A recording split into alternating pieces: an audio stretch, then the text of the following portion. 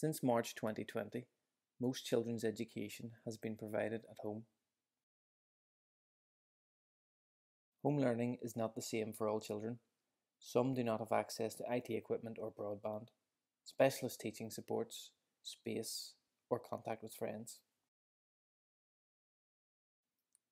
Much has been done and is planned, but school closures risk making existing inequalities worse or creating new ones. So how do we avoid this?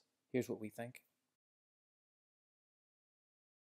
Use the Section 75 equality duties to inform responses to COVID-19.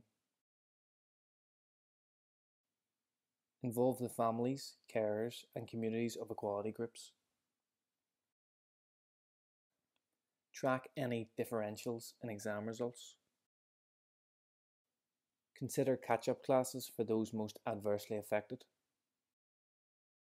Find out more at www.equalityni.org forward slash education policy or contact us at information at equalityni.org.